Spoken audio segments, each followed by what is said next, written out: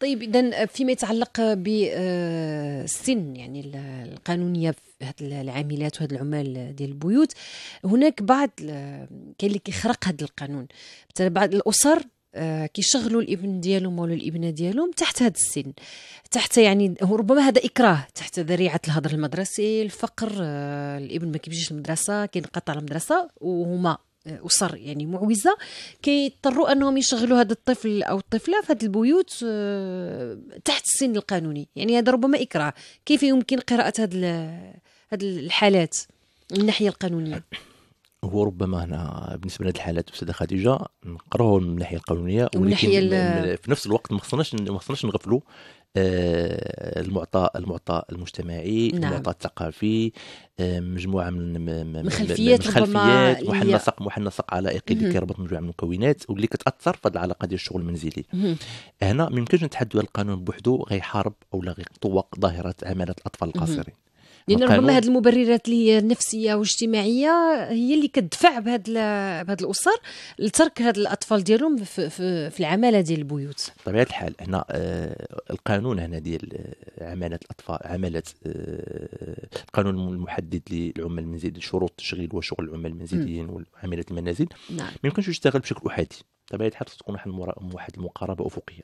هنا كاين القانون كينظم مجموعة من المقتضيات واللي كيمشي في اتجاه أنه يحمي ديك إذا اشتغل في نسق داخل واحد النسق معين. هنا هذا القانون هذا إذا ما تمش مثلا توفر واحد واحد المناخ اللي هو آه، بطبيعة الحال آه، خالي من واحد الهشاشة اجتماعية واحد الفقر مدقع واحد بالنسبة لاسره معينة. اللي ما كتخلو منها منطقة على على وجه المعمور آه إلا ما كانش كاينة واحد المقاربة ديال محاربة الهدر المدرسي باعتبار نعم. هذوك الأطفال هذوك ما يتوجهوش للمنازل باش يشتغلوا ولكن يكملوا القراية ديالهم.